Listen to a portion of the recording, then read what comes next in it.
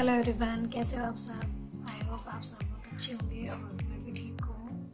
और आज धूप अच्छी निकल रही है तो मैं बाहर वाले रूम में बैठी हूँ। तो बताइएगा आप सब कैसे हो? तो सुबह का खाना पीना सारा काम हो गया है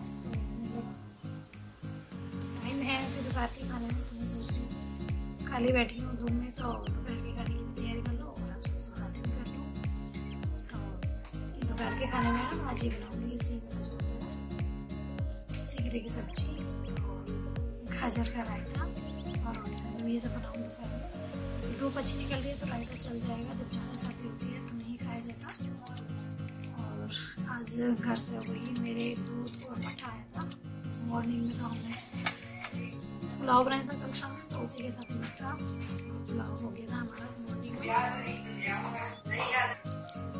तो मॉर्निंग का खाना हो गया हमारा वही ग्यारह ग्यारह साढ़े ग्यारह बजे हो गया था। तो दोपहर के खाने की तैयारी चल रही है। तो दोपहर का खाना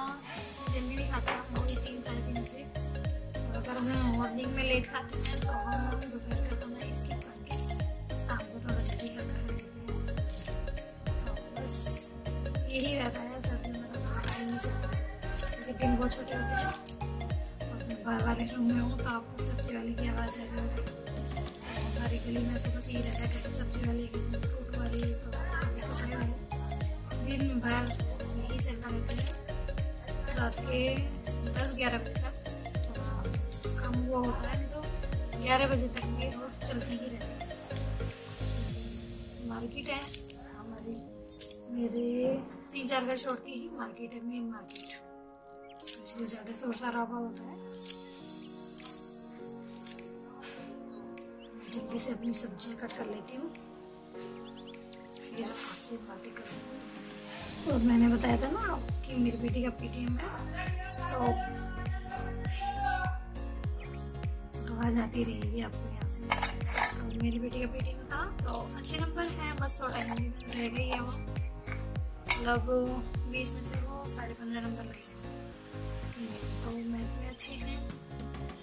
इंग्लिश में लाई है तो बीस में से, उन्नीस नंबर और मैथ में भी अठारह हैं। और ई में वो बीस में से साढ़े अठारह लेके आई है जी के में भी। वो उन्नीस नंबर लाए मतलब नंबर अच्छे लाए बस थोड़ा हिंदी भी मात्राओं का वो कर जाती है कभी कभी उसको ये नहीं होता कौन सी मात्रा कहाँ पे लगानी है।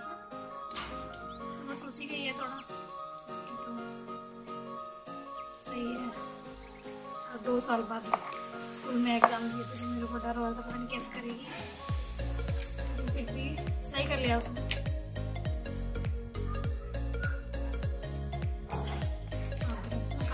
सब्ज़ी वगैरह तो मैंने कट कर ली थी और उसके बाद मतलब बच्चे परेशान कर रहे थे तो मैंने फिर कैमरा बंद कर दिया था। और अब मैं सोच रही हूँ खाना बना लेती हूँ क्योंकि ढाई बज गया है। मैं सब्ज़ी बनाऊँगी, गाजर का रायता बनाऊँगी रोटी बनाऊँगी वही तीन साढ़े तीन आराम से बच जाएँगे। तो सब्ज़ी छोड़ लेते हैं पहले अपनी मतलब तड़का लगा लेते हैं। तो आलू भी मैंने धो लिए, अपना ये मैंने सिंगरा भी धो लिया है और इधर मैं टमाटर कट कर लेती हूँ। मैं इसमें तीन टमाटर डालूँगी। मतलब दो डेढ़ में काट चुकी है, आधा रहा एक उधर है। थोड़ा ही खटी खटी सी ही अच्छी लगती है सब्ज़ी।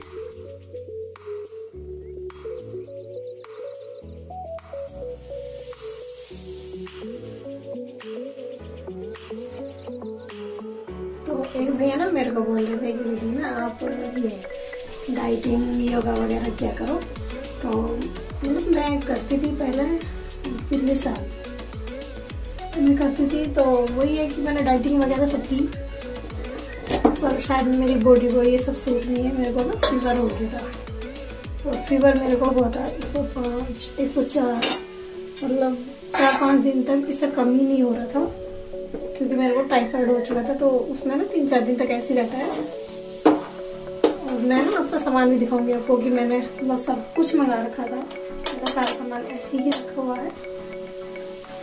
अब तो सर्दी सर्दी तो नहीं मैं करूँगी। देखती हूँ फिर गर्मी में एक बार और ट्राई करके देख लेती हूँ। होगा तो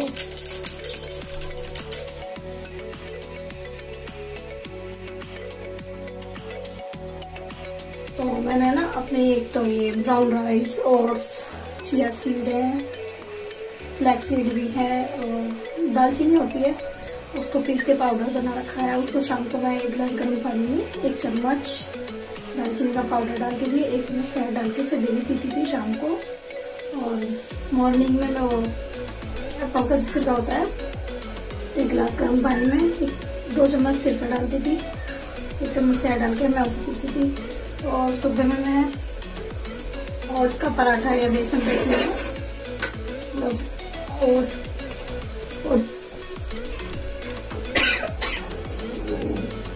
बेसन का चिला, यही सब खाती थी, दोपहर में मैं ब्राउन राइस बना लेती थी किसी भी दाल के साथ। शाम को मैं खाना नहीं खाती थी, शाम को सलाद वगैरह खाती थी। वो भी कहते एक महीने में मेरा तीन किलो कम हो गया था, लेकिन एक दिन डेढ़ महीने में तीन किलो कम हुआ था। लेकिन वही जैसे ही कम हुआ, तभी मैं बीमार हो गई। उसके बाद मैंने छोड़ दिया, फिर मैंने इस साल फिर मई और सूर्य में शुरू किया था। ये सब लिया था मैंने। ग्रीन टी भी पीती दिन में दो बार एक दस बजे पीती थी, एक चार बजे पीती थी तो फिर मेरे साथ, वही सब हुआ तो मैंने छोड़ दिया इसे अब मेरा सारा सामान में ऐसे रखा है ग्रीन टी ब्राउन राइस है ओट्स है। तो ओट्स तो मैं कभी कभी बीच में बना लेती हूँ, खा लेते हैं अच्छा लगता है खिचड़ी की तरह बना लो उसे। लेकिन ब्राउन राइस बनते ही नहीं है, वो कुछ जल्दी से नहीं होते हैं टाइट मतलब गलती नहीं है, मैं उसे सुबह भी होती थी, दोपहर को तो उबालती थी मैं पाँच छः सीटी लगाने के बाद भी होते नहीं थे, वो गलती नहीं थे, बिल्कुल भी। और एक ऐसे बात बात में मेरा मसाला भी बन गया। तेल छोड़ दिया इसमें। आप सोच रहे हैं, कुकर भर के सब्ज़ी बनाई है। तो दो टाइम की सब्ज़ी है, और दोपहर की भी शाम अब शाम को क्या अलग बनाना पानी मैं बिल्कुल थोड़ा सा डालूँगी इसमें। इससे दो चाहिए और अपना मेरी सब्ज़ी बनी है तो मैं अपनी गाजर कट कर लेती हूँ। और फिर मुझे वो भी बॉइल करनी है, रायते के लिए। और मैं ना, ये सब यूज़ करती थी। ये ग्रीन टी है तो मैं दो टाइम पीती थी ग्रीन टी ये शहद है ये एप्पल का सीखा, जो मैं मॉर्निंग में एक गिलास गर्म पानी लेती थी, उसमें दो चम्मच सीखा डालती थी, एक चम्मच शहद। तो ये मैं मॉर्निंग में लेती थी, और ये नहीं है, मैंने पीस रखी है।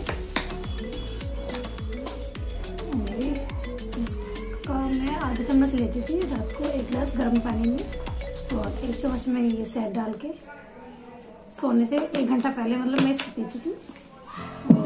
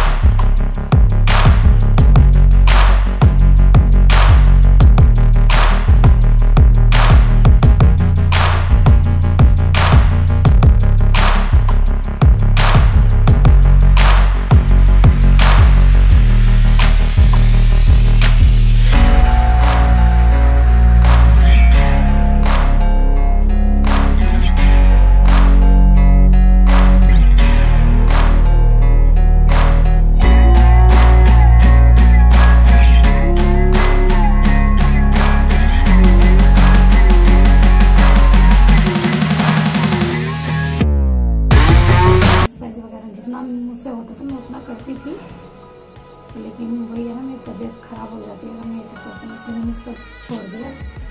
लेकिन मैं इन सबको वेस्ट नहीं करूँगी। मैं सोच रही हूँ सर्दी ओट्स तो खैर नहीं सर्दी सर्दी में बना के खा लेंगे, हम दो तीन बार में ख़त्म हो जाएगा। खिचड़ी अच्छी लगती है इसकी। आप ऐसे टमाटर में बना लो इसको खाली। जैसे कि हम क्या कहते हैं जो टमाटर, प्याज वगैरह डाल के टमाटर में, और इसको भून लो और पानी डाल के जल्दी सी बन जाती है दले टाइप का, बहुत अच्छा लगता है। चावल तो ये ख़राब नहीं होते और ये सिक्का भी ख़राब नहीं होता। शहद भी यूज़ हो जाता है किसी न किसी चीज़ में। ग्रीन टी अभी पैक है, जो खुला हुआ है वो दूसरे में रखा है। कभी कभी इनका मन करता है तो ये पी लेते हैं। और दालचीनी का पाउडर भी किसी चीज़ में यूज़ हो जाता है, चाय वगैरह में डाल हुआ ये पैक है। इसका पैकेट मैंने खुला हुआ रखा है अंदर, जब मन होता है तो मैं कभी कभी बीच बीच में ले लेती हूँ। जी इतना सब थी मैं लेकिन फ़ायदा कुछ नहीं है। और आज सर्दी में थोड़ा ज़्यादा है। मतलब सुन सा है मतलब ठंड सी लग रही है हाथों में और पैरों में। ठंडक बहुत ज़्यादा लग रही तो बच्चों को मैंने कॉफ़ी का कर रहा था। तो मैंने सोचा, बच्चे क्या, हम भी पी लेते हैं? मैं यहाँ पे इन चारों मतलब इन चारों के लिए अपनी चारों के लिए कॉफ़ी बना रही हूँ। और ये दूध बन रहा है। उबाल तो मॉर्निंग में दिया था, घर से आया था। लेकिन कॉफ़ी बनाने के लिए तो मुझे दोबारा उबालना है। और चाहिए अभी कॉफ़ी पीने के लिए सब्ज़ी बड़ी है। और अभी मेरे को ना, वो जो कोयले होते हैं ना, वो सिलकाऊँगी, कमरे में रखूँगी, ताकि कमरा जो है वो गर्म हो जाए, क्योंकि ठंड हो रही है। चलते हैं अपने कॉफ़ी लेके अंदर। और हम ना हर सर्दी में ये कोयले ले आते हैं। और ये हमारा लिट्टी का बर्तन है, इसीलिए हम उसमें कोयले वगैरह सिलका लेते हैं। तो गंदा भी नहीं होता नीचे, क्योंकि टाइलें वगैरह भी काली हो जाती है साफ़ नहीं होती बस जी, आज के लिए इतना ही। तो बाय बाय गुड नाइट यार नाइट तो नहीं अभी अभी अभी तो छः बजे हैं। लेकिन बस इतना ही कुछ खास नहीं है। लेकिन जैसा भी है, यही था। तो बाय बाय आप सभी को गुड नाइट